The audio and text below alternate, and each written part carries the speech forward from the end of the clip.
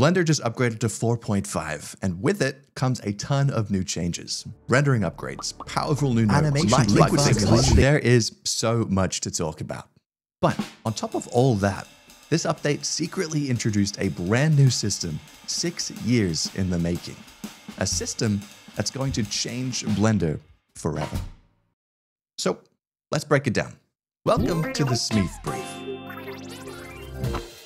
Each update, Blender gets a slew of new toys to play with, and this time is no different. There's so much packed into this one single update, but I want to start with booleans. Blender's boolean modifier has always been kinda glitchy or just straight up doesn't work the way you want it to. Making complex booleans like this was a struggle. Not to mention, animating this boolean would instantly cook your PC.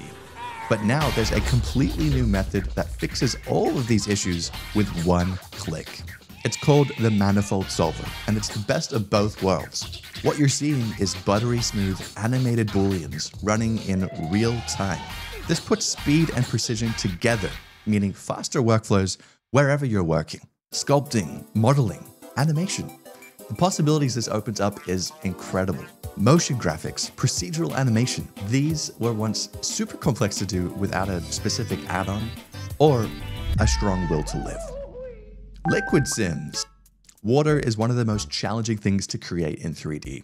Simulating hundreds of thousands of particles is no easy task. Even the best of the best need special software to create something remotely realistic. For Blender users, we have Mantaflow, and it's it's not the best. this thing behaves so unpredictably, sometimes needing hundreds of iterations and thousands of hours to get the exact result you want. It's frustrating, but with Blender 4.5, things got a whole lot better. There's more stability when simulating, improvements to the user interface, and baking simulations is up to 1.5 times faster. Huge. Geometry nodes. Geometry nodes is one of the coolest areas in Blender. The community frequently makes these unbelievable artworks, tools, and simulations all inside of GeoNodes. And with 4.5, there's now even more nodes to play with, like the Normalize Mesh node. This lets you essentially join geometry together without destroying the topology. You can now drag and drop any object into Blender from any window. I'm talking STLs, OBJs, you can even do your taxes if you want to. Brother, this guy stinks! There's now a brilliant camera info node as well. This allows you to create some camera culling effects as well as geometry creation from the camera's POV. Grease Pencil also got a ton of new nodes. Coloring, softness, depth. This opens up so much control and creativity for anyone who uses Grease Pencil. There's so many other cool little updates as well, like standardized nodes for the compositor and the shader. Lights now use kelvins, like the real world. FBX imports are 15 times faster. Gridfill can now do this, and UVs are always visible. Most of these updates are possible thanks to the secret system Blender introduced. But first, I want to talk about one of Blender's biggest updates yet. Animation is what I live for. It's the reason for my channel, and whenever there's some kind of update, I usually cover it. This time we have two major improvements to the animation workflow. The first one being this. You can now snap to keyframes, markers, strips, even seconds in any editor with a timeline. I don't care who you are, this is the most satisfying update, and I'm so glad they finally introduced this. Shape keys are essential for almost all aspects of animation. It's how animators can create incredible emotions for characters like this. But to create a shape key, it is stupidly time consuming. You have to go through 10 steps just to do this. And it gets even more complex when you're trying to create a different emotion. Usually you have to start from scratch or mix a bunch of pre-existing shape keys together and start from there. It's a mess. 4.5 fixes this with two new buttons, duplicate and copy from mesh. These do exactly what you think they do, and it saves so much time. There's also some quality of life changes.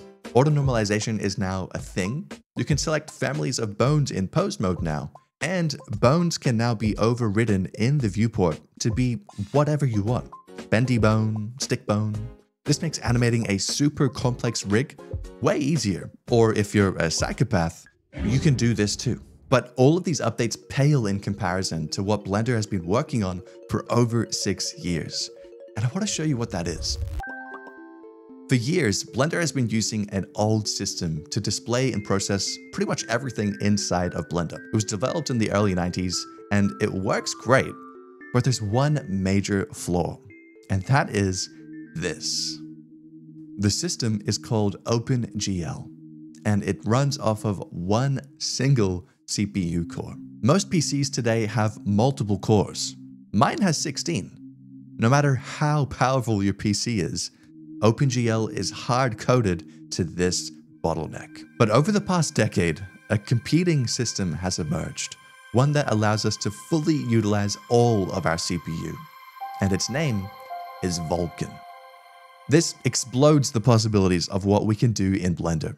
There's already faster load times, shader compilations are lightning quick, Animation in the viewport is finally stable. Adaptive subdivision is now way faster and more efficient than ever. Look, I could even sculpt this 6 million polygon model with ease, and Blender doesn't even flinch. There are so many small things that this touches inside of Blender.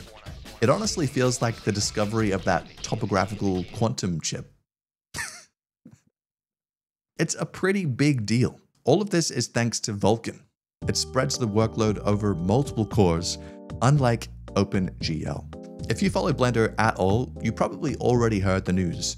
I kind of feel like the town crier meme with how late I'm posting this.